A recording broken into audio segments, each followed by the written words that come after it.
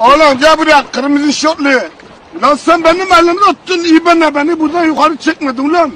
Ben boğulayım çekmedim beni. Sen de Mahmut. Ha? Başaramadık abi. Neyi başaramadın amına koyayım?